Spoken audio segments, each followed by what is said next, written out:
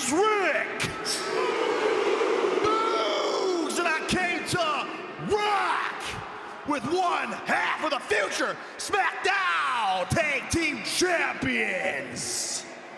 Of course, I'm talking about Shinsuke Nakamura.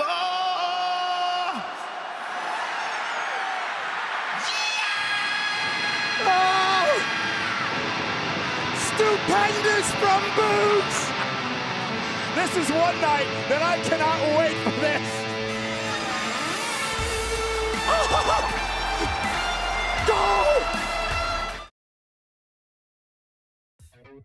Go!